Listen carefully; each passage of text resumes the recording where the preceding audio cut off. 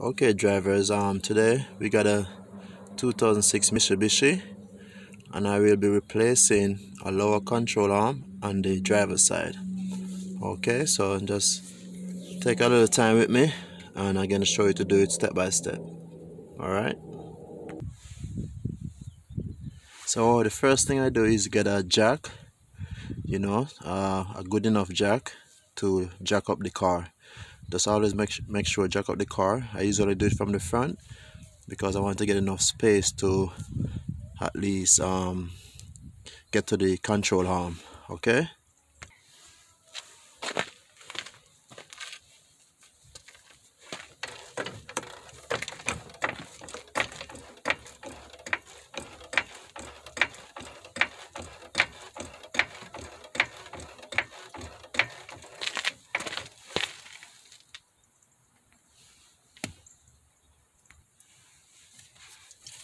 okay usually then after I move the um the driver side wheel sometimes these nuts is easy to it's, it's not easy I mean hard to come off so I gotta spray it.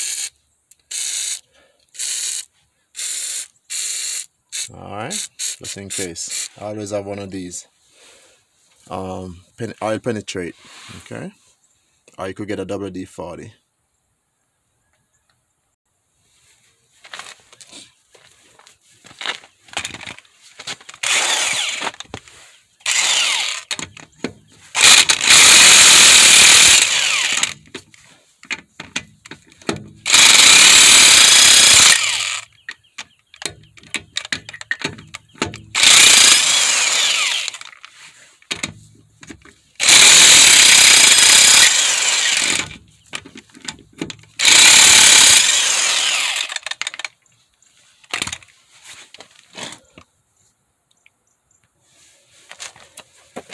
after you take off the nuts just take off the wheel. We gotta get to the control arm. As you can see the control arm is right there underneath here. Okay? Which is this. Control arm is right here. I'll show you more on that though. There's another thing I want to show you guys.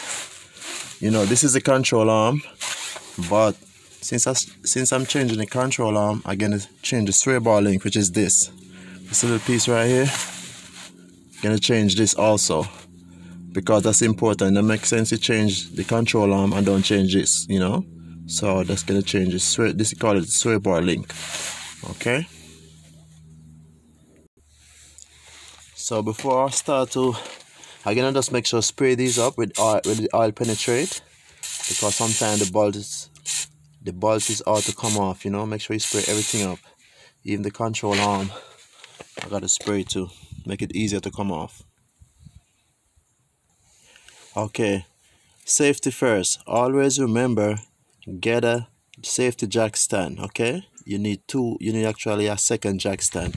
And like as you can see where I put it I put it between the um the steer bar we call it the steering link which is this the ball joint on the um, brakes um, bracket.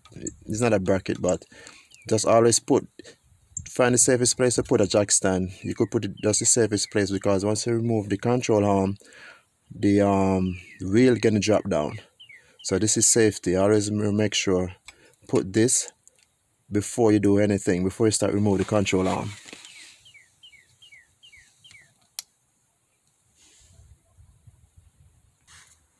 Okay the control arm arm of like three bolts. One is right here which is this.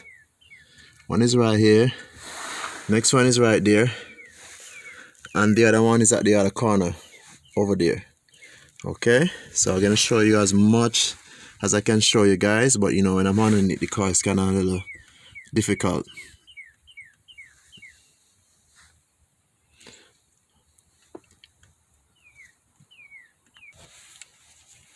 okay okay people. So the next thing you're gonna do is take off the sway bar link first before I get to the control arm. So you're gonna do right now it's supposed to be like a 14 or a, you can use a 916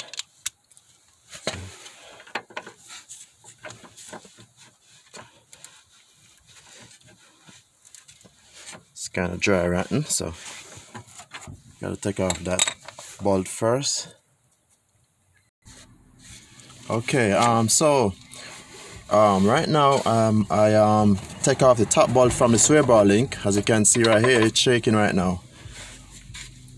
Right here you got another bolt. You don't need you guys don't need to remove this because since you're taking off the control arm it's already disconnect from here all right?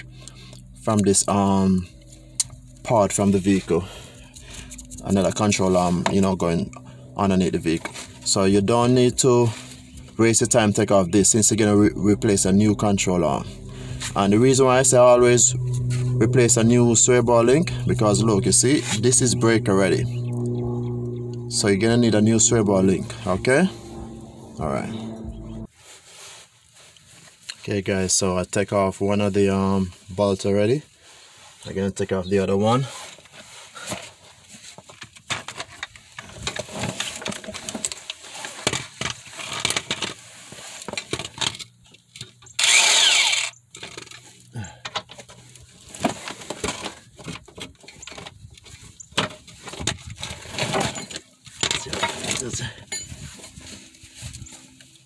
Actually, that's the wrong size.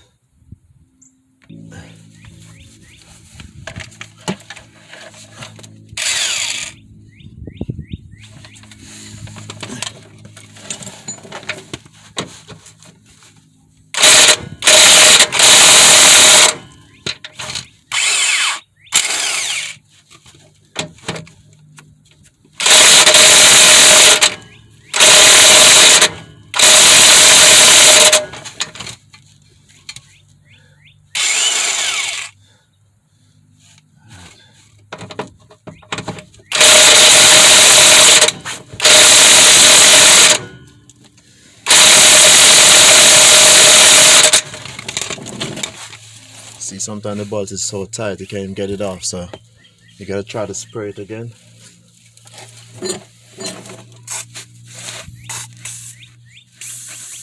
Give it at least a couple minutes.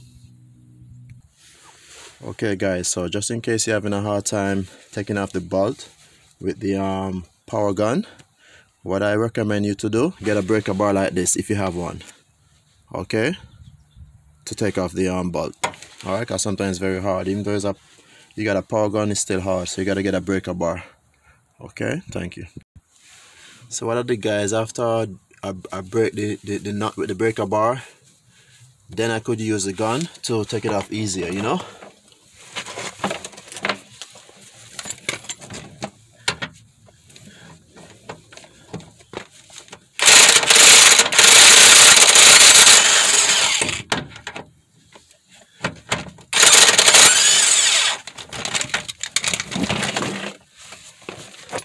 nice and easy.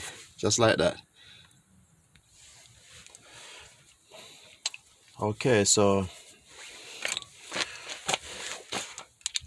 always um take off the ball joint this one right here because you're gonna be, let the um control arm so easy to take off so just remember take off the ball joint.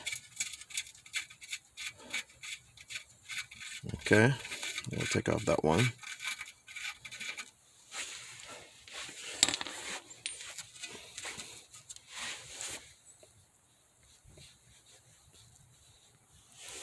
so actually guys you don't really have to really move this but sometimes make it easier. So just in case you have a hard time take off the control arm usually what I do I move this and I have more space to knock out the bolt from underneath here which is the last bolt you know. Usually I leave, leave this one for last to the wheel.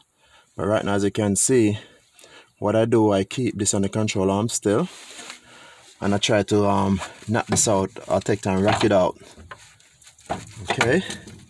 Sometimes if it's stuck in here inside this hole try to wrap the wheel like this. And you get it out easier okay? So this is the control arm. And now I'm going to try to knock it out from the last bolt okay? Okay guys so right now I remove the control arm. So what I'm gonna do this is the new control arm right now. So remember this this is a sway bar link. You're gonna need this. Always replace this first okay put in your screw. Just remember put in your screw. At least you know you got a new sway bar link and a new control arm.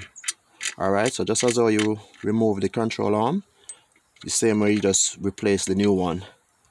Alright so wish you guys luck on this. It's not an easy job but you just have to take your time and have patience. Alright if you guys interested just hit the the bell to get notification whenever I put up things like these to replace parts alright thank you. Have a blessed day